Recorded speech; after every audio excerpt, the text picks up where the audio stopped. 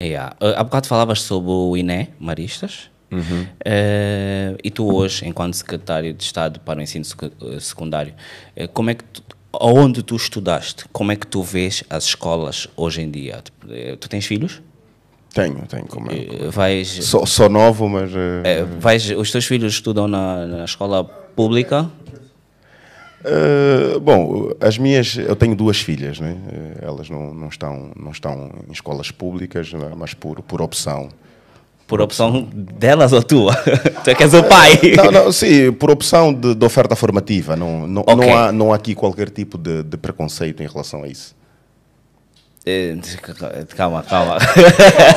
calma, calma, calma. Peraí, peraí, peraí, peraí, peraí, calma. Tem, Sim, não, porque vamos... às, vezes, às vezes a pergunta é feita no sentido de dar a entender yeah. algum preconceito. preconceito. Não é o meu caso, a pergunta é objetiva no sentido em que, uma vez que tu és secretário de Estado, para o ensino uhum. secundário Sim. e tu estudaste na escola pública. Sim. E eu digo isso porque nós também estudamos. Nós, Sim, e, e, e é o que eu. Eu, eu deixei quero... de estudar por causa da greve e eu sei que as pessoas estão em greve. Então a pergunta não é não, mas, mas propositada, mas é Sim, responsável. É, não é? é interessante. Yeah, voltemos, voltemos ao contexto, ao contexto da pergunta. Por que é que tu estudaste numa escola pública na altura? Hum, porque eu, eu, comecei já no, no ensino angolano. Na uhum. altura, eu acho que o meu pai eh, ainda acreditava e confiava nos professores da escola pública e eu estive lá até a quinta classe. Uhum. Entanto, os professores entraram em greve. Eu, para não perder o ano e porque tinha tios a viverem, a estudarem em Portugal, uhum. fui para Portugal.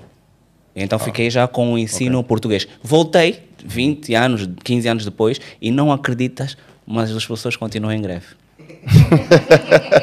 Bom, são vários temas, várias provocações. A greve é um direito constitucional.